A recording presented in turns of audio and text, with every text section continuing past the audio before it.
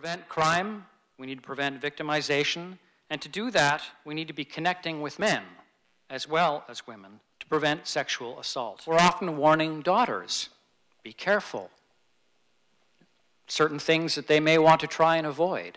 But are we doing the job of giving as strong a message, or even more strong message, to our sons?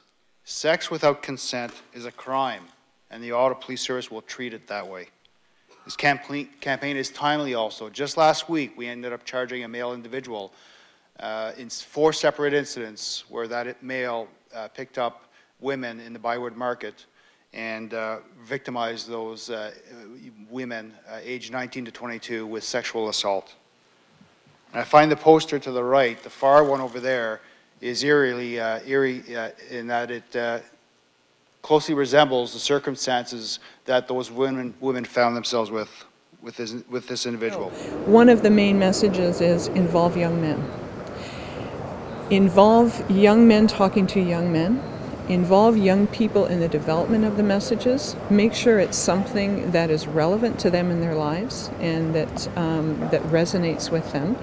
And it, I think these campaign, this campaign might be successful because it does that and because it was developed with young people. Well, the question's been asked to me mostly is do you find these posters shocking? Well, as I show them to middle age and older, people find them shocking. When I show them to the youth, they find them informative.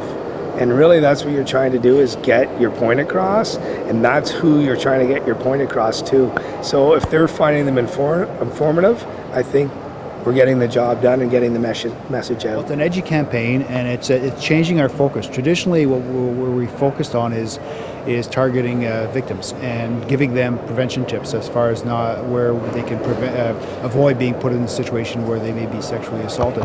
What we're doing with this campaign is we're targeting the offender and we're telling young men not to be that guy. That uh, any any act of, of uh, sexual assault uh, against uh, a, a woman where there's no consent is a crime, and we will treat it that way. We're going to treat it seriously.